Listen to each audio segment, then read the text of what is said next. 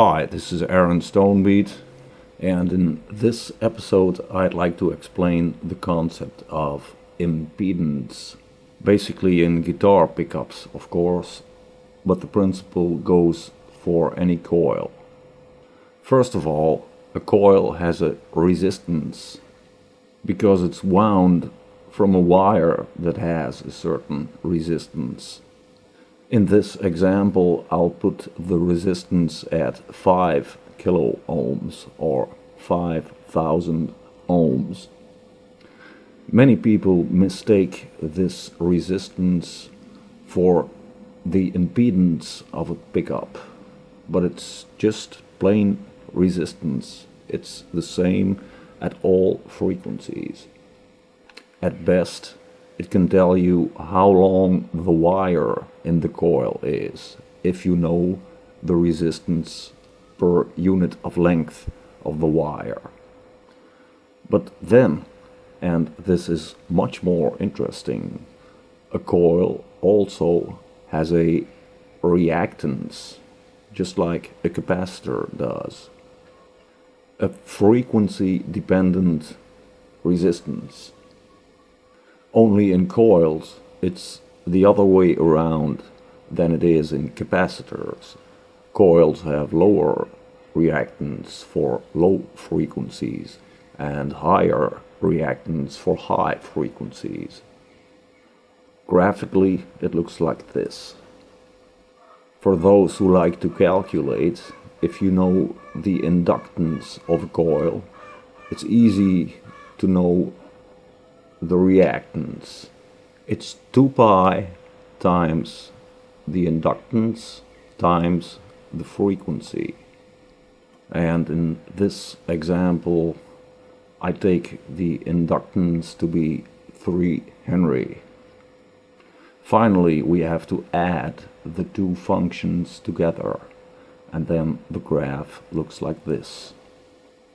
Now we have inductive reactance plus resistance, and this is what's called impedance. 2 times pi times the inductance times the frequency plus the resistance of the wire. So there you have it, impedance in less than 3 minutes. But now every coil also has some parallel capacitance, which arises from the turns of the coil being close together. In addition, every guitar cable has a certain parallel capacitance, which arises basically for the same reason, only now it's the core and the mantle of the cable being close together. As an example, I've taken the capacitance of the pickup and the capacitance of the cable together at 1 nanofarad, which might be more or less realistic. In the graph, this capacitance would look like this. And since the pickup and the capacitance are in parallel, the resulting resistance over the frequency spectrum would look like the purple graph. And more interesting, any system that combines an inductance and a capacitance will have a resonance frequency at the point where both reactances are equal, a specific frequency at which the system oscillates at its highest efficiency. This is, above all, the characteristic that determines the tonal character of the pickup in your guitar in combination with its own capacitance and the capacitance of the guitar cable. In this example, the resonance frequency would be somewhere between 2700 and 2800 Hertz.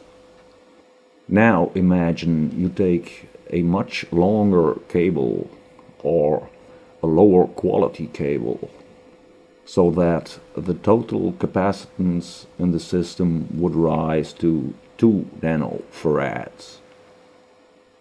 And see what happens to the resonance frequency. It drops to almost 1900 Hertz.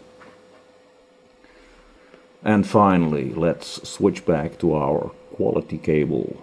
But now we turn down the tone control on the guitar completely. The tone control also is a parallel capacitance. In this example it has a value of 22 nanofarads, so together with the system capacitance we have 23 nanofarads. And take a look.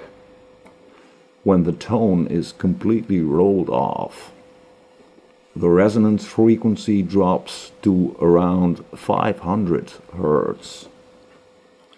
There it is, impedance and its interaction with capacitance.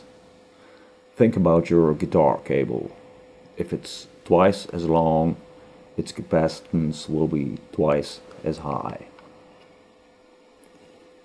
Thank you.